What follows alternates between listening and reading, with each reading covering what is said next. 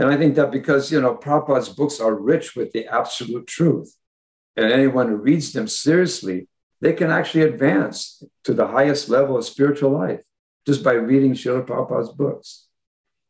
You know, um, you, you, you can appreciate how unique Prabhupada's books are if we uh, constantly read them, if we're constantly absorbed in them and constantly reading and hearing, then we'll understand how unique these books really are for us and for, for humanity.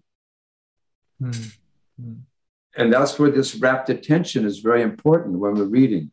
We have to really pay attention and really hear.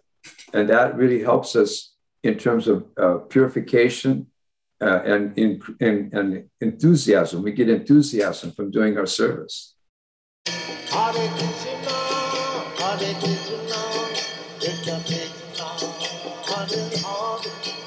Hare Rama, Hare Rama, Rama Rama, Hare Hare.